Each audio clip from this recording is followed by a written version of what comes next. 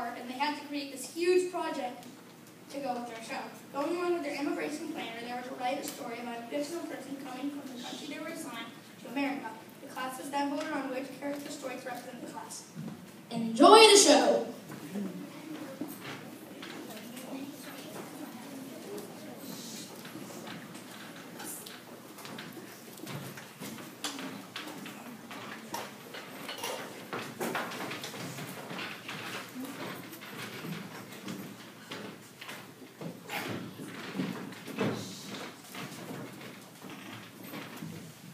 What do birds do when the weather begins to turn cold?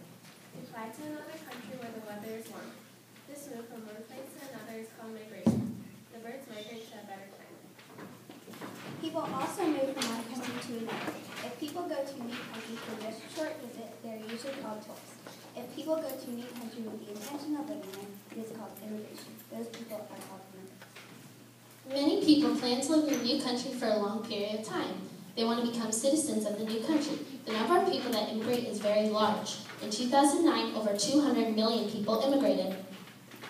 That sounds like a lot of people. Actually, that is only 3 of every 100 citizens of the world, or 3%. The rest of the citizens of the world stay in their own countries. Man has migrated to different parts of the world since the beginning of history. How else do you think land all over the world is set? Humans migrated across the land bridge between the lands of northern Asia to the land of North America. They migrated from the far north to the far south and populated areas as they moved.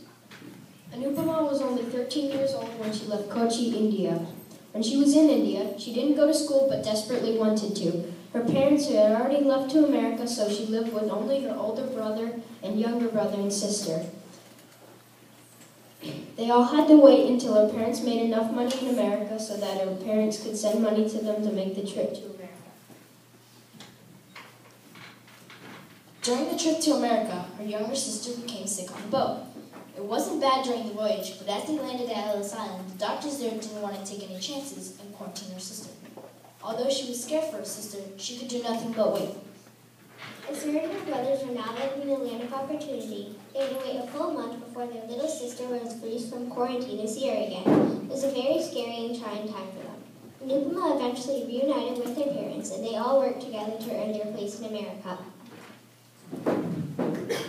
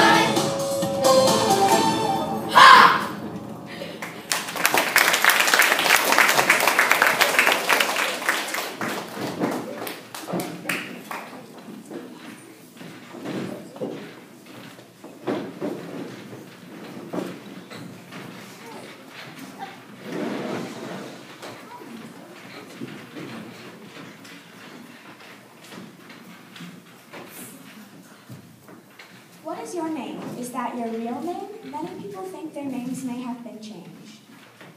They believe their names were changed many years ago. Stories say that immigrants' names were changed. They were changed when they came to America. An immigrant is a person who leaves from one country to live in another. Some believe that a name change happened to Ellis Island. Ellis Island was an immigration center. Immigrants stopped there before living in the U.S. History tells us that names were changed. Were they changed to Ellis Island? Experts say probably not. If it was changed, it was probably done by them then. Most people came to the U.S. to get a job. Bosses had something to do too. They often gave jobs to people with easy names. Many immigrants decided to change their name. They did this to get the job. Experts also say that bosses sometimes change their name. A boss might have asked if he or she could call the worker by an easier name. He or she would explain that the real name is too hard. Then the worker would keep that new name. Immigrants wanted to become Americans. Experts say many immigrants wanted to fit in. They changed how they dressed, they changed their names, and they made their names more American. Some changed the spelling of their names so their names would be easier to say. Some had long names. They made them short. If a man's name was Finkelstein, he may have changed it to Finkel. Juliet from Haiti was lucky enough to be able to keep her name. It was easy to pronounce and sounded American enough for bosses to be able to say. In Haiti, Juliet was a housemaid, but wasn't earning enough money to support her family because others in Haiti were too poor to hire her for her services. Juliet and her family left Haiti for political reasons. She had a much more successful job in the United States. She was in demand and it made a definite plus that her name was easy to pronounce.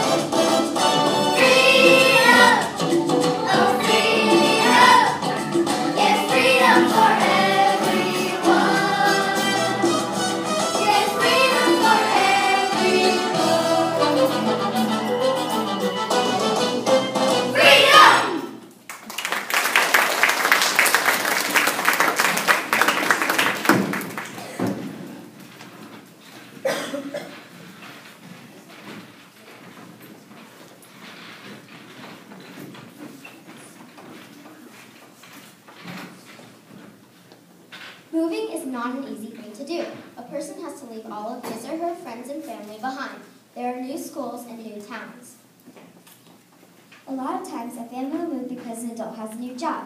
It is a stress- stressful but an exciting time too. Now imagine you're moving to a new country. You don't know anyone there. No one in your family speaks language well. When you get there, your parents will have to find a house, jobs, and learn to survive in what seems like a different world. These are some of the problems that immigrants to this country face every day. Immigrants come to this country for a better life. For different reasons, immigrants are sure that things are better in this country. Immigrants, many immigrants come to find work. There are many jobs in this country, but immigrants who don't speak English have a hard time doing them. Instead, they have to take jobs that don't pay as much money. This makes it very difficult for them to afford many of the things in this country that they hope to have. New immigrants have a hard time finding health care. Many of them are working on low paying jobs. These jobs don't on health insurance. Families often don't have enough money to go to a doctor. Many of them don't know where to get help because they don't speak English. But when they do go to a doctor, they have trouble understanding what he or she is telling them. This can make it hard to follow the instructions that the doctor gives them. Temitope and her family feared for their lives in, the, in their country of West Africa. Their safety was a constant concern. Temitope had her two sisters, a brother, and only her mother. She didn't have a typical job as we know it. Her job, though, was very important. She was the water fetcher for her, of her family. Not go get the water, the family went without it, which was very dangerous for their health. The water, although important, was not crisp, clean, filtered water. It was found in limited water holes sometimes miles away from their home. The water holes had many parasites and bacteria. They took risks with their health every time they drank. Temitope and her family eventually immigrated to America, where water was plentiful and fresh.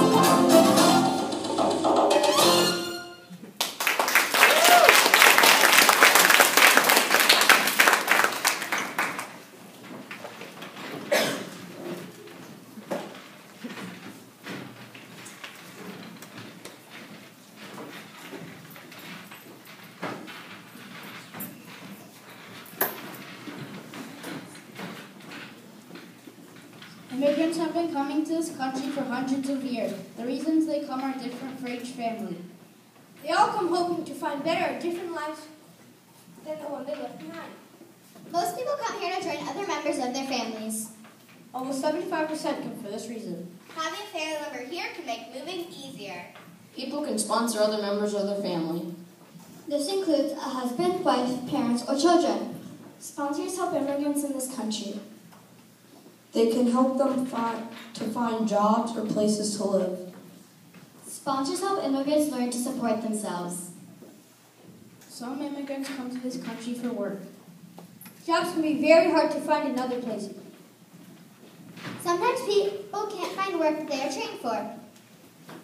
Some, there are many different types of jobs in this country. Many of these jobs also pay very well. This can make it easier for people to come to this country. Here's a story of Aquila. Aquila was 32 years old when she traveled from Cairo, Egypt to come to America. In her country, she was a teacher and had a dog named Amazu. But she chose to come to America because of the unstable government in Egypt. She was confused as she stepped off the boat at Ellis Island, and she didn't speak the language. Lucky for her, she was able to keep, keep her name and not required to change it. Akila hoped to become a teacher in America and wanted to live in a climate similar to Egypt, so she chose Texas. Aquila may not have been able to bring her dog to the United States, but the sacrifice of leaving her beloved pet to come to the land of hope and dreams was definitely worth it.